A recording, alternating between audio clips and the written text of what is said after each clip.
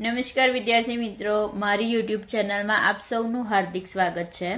આજના વિડીયોમાં આપણે ધોરણ સાત વિષય ઇંગ્લિશ, તેનું ઇંગ્લિશ ગ્રામર એન્ડ કમ્પોઝિશન, તેનું unit five, the present continuous tense, એટલે કે ચાલુ વર્તમાન કાળ, તેની એક્સરસાઇઝનું સોલ્યુશન જોઈશું. તો એક્સરસાઇઝની શરૂઆત કરીએ. ફર્સ્ટ છે fill in the blanks with the correct forms of the verbs in the present continuous tense. એટલે વર્તમાન કાળના રૂપો વડે આપણે ખાલી જગ્યા પૂરવાની છે. હવે તમને ખબર હશે કે ટુ બીના વર્તમાન કાળના ક્રિયાપદના રૂપો કોની સાથે કયા આવે? તો આઈ હોય આઈ જોડે શું અહીંયા હોય તો આપણે જોઈ લઈએ. એ નથી, આપણે એમાં, આમાં જ સમજી લઈશું. આઈ જોડે એમ આવે. એક વચન આઈ જોડે એમ આવે. યુ જોડે આર આવે, એક વચન ઓકે પછી હી, શી અને ઈટ જોડે શું આવે? ઇઝ આવે. વી જોડે બહુવચન, આર આવે. યુ બહુવચનમાં યુ હોય તો આર આવે અને ધે હોય તો પણ આર આવે. અને ક્રિયાપદની પાછળ આઈએનજીનું આઈએનજી લાગે ઓકે તો અહીંયા જુઓ, આપણે ફર્સ્ટ જોઈએ. Hetal and Sejal are drawing અહીંયા ડ્રો છે. તો હેતલ અને સેજલ બે છે. એટલે આપણે શું લખવું પડે? આર. કેમ કે હેતલ અને સેજલ બે હોય તો એ બહુ વચન કહેવાય. તો શું આવે? Are. Drawing a rangoli. Second I જોડે શું આવશે? એમ અને અહીં શું છે? રીડ રીડમાં પાછળ શું લાગશે ING I am reading a book હું પુસ્તક વાંચી રહ્યો છું. થર્ડ છે ધ મંકી મંકી એટલે ઈટ કહેવાય. બરાબર? ત્રીજો પુરુષ એક વચન. તો એમાં શું આવે? ઈઝ અને જમ્પ છે તો શું થઈ જશે પાછળ? આઈએનજી લાગશે એટલે જમ્પિંગ તો આવશે the monkey is jumping on the roof roof એટલે છાપરું.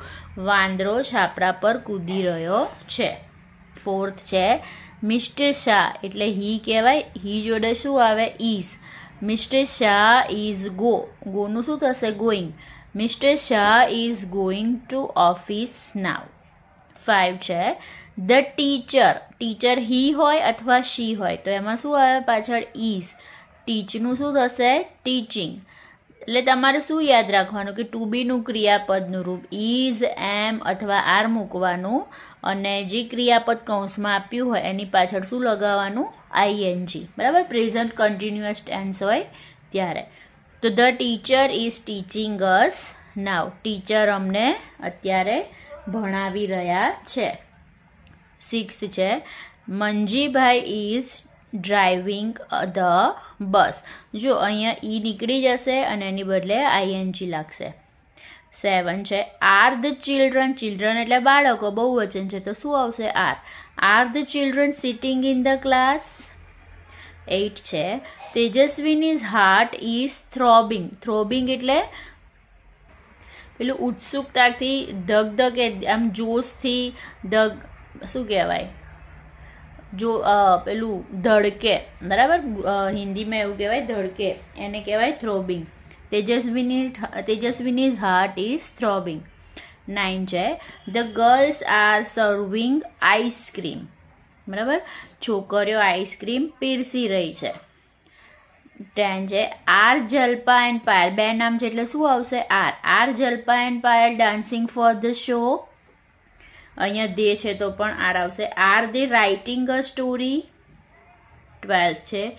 Is Vivek coming with us શું વિવેક અમારી સાથે આવી રહ્યો છે? થર્ટીન છે. The elephant is standing in the cage fourteen છે. ધ સન સન એટલે સૂર્ય. એમાં પણ શું આવશે? Is the sun is shining bright bright એટલે પ્રકાશી રહ્યો છે, બરાબર? એમ આઈ લુકિંગ નાઇસ હવે અહીંયા શું છે? Second answer the questions using the words given in the brackets એટલે અહીંયા જે કૌંસમાં શબ્દ આપ્યો છે, એનો ઉપયોગ કરીને આપણે જવાબ લખવાના છે. તો which game are they playing તેઓ કઈ ગેમ રમી રહ્યા છે? તો કૌંસમાં શું આપ્યું છે? ફૂટબોલ. તો આપણે લખીશું. દે આર પ્લેઇંગ ફૂટબોલ ત્યારબાદ second when is father going to Surat? પપ્પા સુરત ક્યારે જવાના છે? તો અહીંયા આન્સર શું આપ્યો છે? ટુ મોરો તો આપણે કેવી રીતે લખીશું?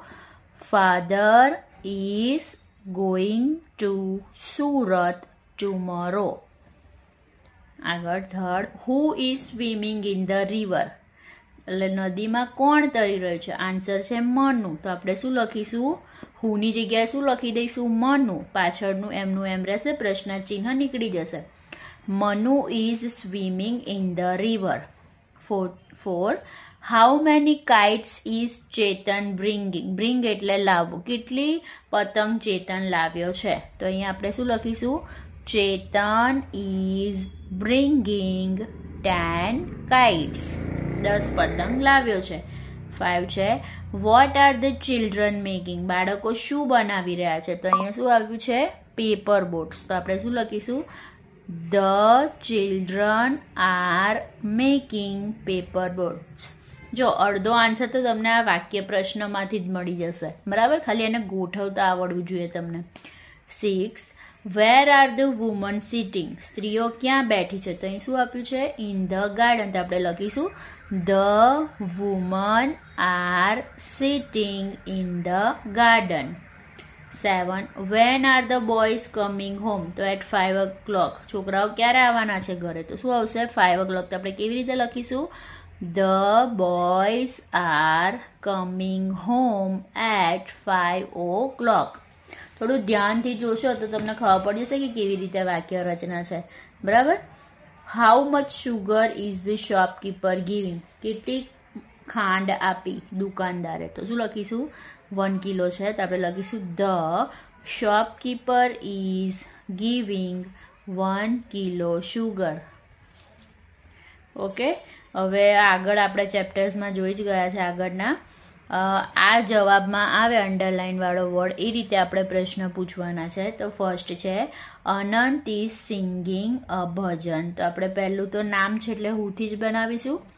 હુ ઇઝ સિંગિંગ અ ભજન પછી આનું શું બને? ગુજરાતીમાં આપણે પ્રશ્ન બનાવવો હોય તો અનંત શું ગાઈ રહ્યો છે? તો આપણે કેવી રીતે બનાવીશું? વોટ ઇઝ અનંત સિંગિંગ બીજું છે the boys are sitting in the hall છોકરાઓ હોલમાં બેસી રહ્યા છે. તો આ પહેલું તો એકદમ ઇઝી જ છે હુ વાળું તો? Who are sitting in the hall અને છોકરાઓ ક્યાં બેસ્યા છે? તો વેર વેરથી પ્રશ્ન પૂછાય.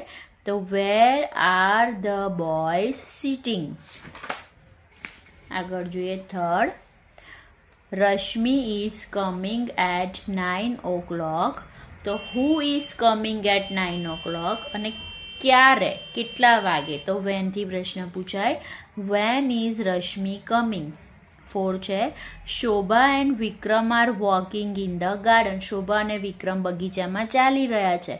તો હુ આર વોકિંગ હવે તમને હુ વાળામાં સમજ પડી ગઈ હશે okay who are walking in the garden અને ક્યાં ચાલી રહ્યા છે? તો ક્યાં આવે તો શું આવે? Where where are Shobha and Vikram walking five છે.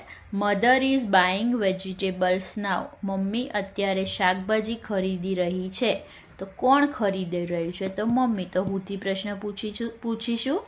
Who is buying vegetables now શું ખરીદી રહ્યા છે? તો વોટથી પ્રશ્ન પૂછીશું. What is mother buying now ક્યારે ખરીદી રહ્યા છે? તો નાવ એટલે આપણે વેનથી પ્રશ્ન પૂછીશું. When is mother buying vegetables six જોઈએ. Deepak is drawing two pictures તો કોણ દોરી રહ્યું છે? તો દીપક તો હુથી પ્રશ્ન પૂછીશું. Who is drawing two pictures બરાબર? કેટલા દોરી રહ્યા છે? તો હાઉ મેની પિક્ચર્સ ઇઝ કેટલો શબ્દ આવે એટલે હાઉ મેની આવે. How many pictures is Deepak drawing અને શું દોરી રહ્યા છે? તો what is Deepak drawing okay seven છે the teacher is reading a poem in the classroom તો શિક્ષકે કવિતા વર્ગખંડમાં વાંચી વાંચી રહ્યા છે. તો આપણે લખીશું. પહેલું કોણ વાંચી રહ્યું છે? તો હુંથી પ્રશ્ન પૂછીશું.